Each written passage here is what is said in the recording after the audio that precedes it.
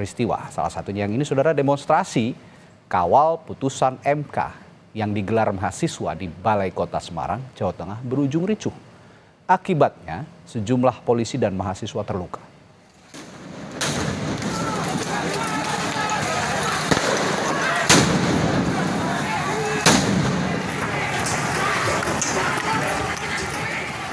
Aksi mahasiswa di depan Balai Kota Semarang kembali ricuh. Masa yang sempat berhadapan-hadapan dengan polisi akhirnya dibubarkan menggunakan gas air mata dan water cannon. Masa berusaha menduduki kantor DPRD Kota Semarang untuk menyuarakan tuntutannya dan aksi yang bermula damai berubah menjadi ricuh. Sejumlah fasilitas di Balai Kota pun dirusak.